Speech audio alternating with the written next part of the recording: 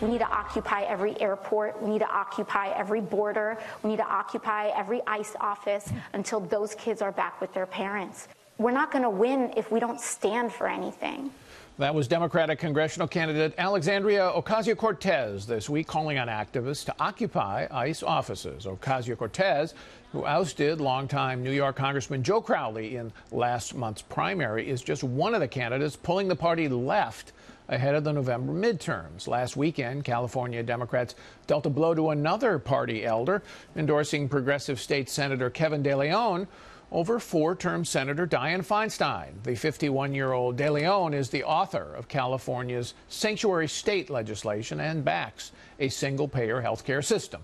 Wall Street Journal columnist and Fox News contributor Karl Rove served as deputy chief of staff and senior advisor to President George W. Bush. So welcome, Karl.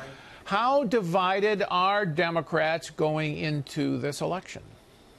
Well, increasingly divided because uh, you, you just touched on a couple of them. We, we've, we've seen this throughout the primary season that in cases of uh, races where the Democrats had a shot to win, they've thrown it away by uh, going hard left. Uh, the key example to me was uh, uh Nebraska, too. Uh, this is the most Democratic part of Nebraska.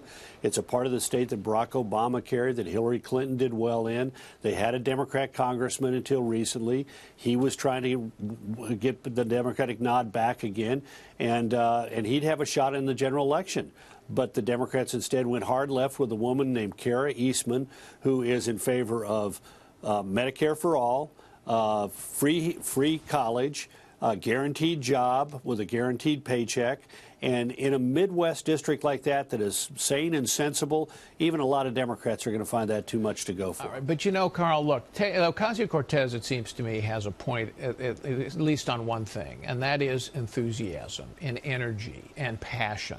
And if you stand for something, you're going to motivate people to vote. In 2010, as you know, the response from Republicans to President Obama was driven in part by that kind of passion. What it, it, people, Republic, uh, voters know that Trump is going to have the veto authority. So, but the Democrats may be motivated enough to put a check on that, and some of these issues may not matter as much. Well, maybe, but look, she comes from a very liberal district that is not representative of the country.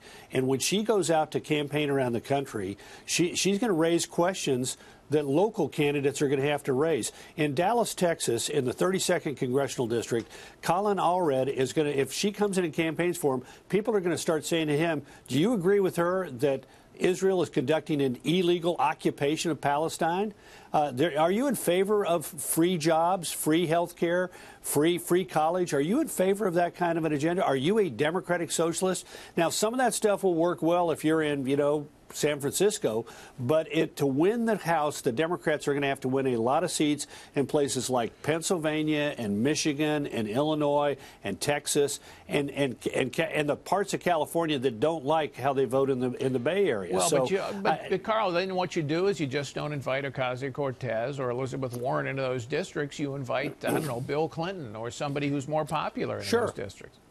Yeah, but look, this this is a this is a uh, sentiment that is grabbing, uh, that is gaining strength inside the Democratic Party. Here in Texas, they nominated a rock star named Robert Francis Beto O'Rourke for the U.S. Senate against Ted Cruz. I think it's it's hilarious that in Texas we have the Anglo Robert Francis O'Rourke running as Beto, and we have the the Hispanic uh, Rafael Cruz running as Ted. But that's the way it is. But Beto O'Rourke this week came out in favor of impeaching Donald Trump. Now, that may be popular inside the confines of the Democratic Party, but it is not going to be popular in a red state like Texas. Or take Scott Wallace in Pennsylvania 1. This is a district held by a Republican, won by Hillary Clinton, and they nominate the most left wing guy who's running in the primary, who turns out to have contributed $300,000 to organizations that support disinvestment in Israel. And it is the 30, the district has the 38th highest percentage of, of uh, uh, concentration of Jewish voters of any district district in the country. So, Right. yeah, th- th- th- look, it, it, it matters that you stand for something. But if what you stand for something is hard left politics and you're running in sort of middle America, then the Democratic Party is not going to win as many seats as it might otherwise have won. One of the things, though, we've seen throughout the special elections uh, in the last 12 months is that the Democrats have outperformed what you would have been the expectations for their voter turnout. And that's in part generated by enthusiasm. A lot of this, and we saw this in Virginia in particular, is anti Trump enthusiasm. Why isn't the best Democratic argument were to be simply something like this? Know, we are going to put a check on President Trump. You want checks and balances? The Republicans aren't doing it. We're going to put the check on Trump. Uh, that would be a good strategy, but instead they've got uh, for the people. And uh, increasing numbers of their candidates are defining their agenda by adopting left wing positions Medicare for all, free college, guaranteed jobs, and so forth. But you're right. If they ran a sort of centrist, we're, the, you know, we're going to work together, Republicans and Democrats, to achieve good things for the country. We're relatively moderate, centrist, liberal Democrats.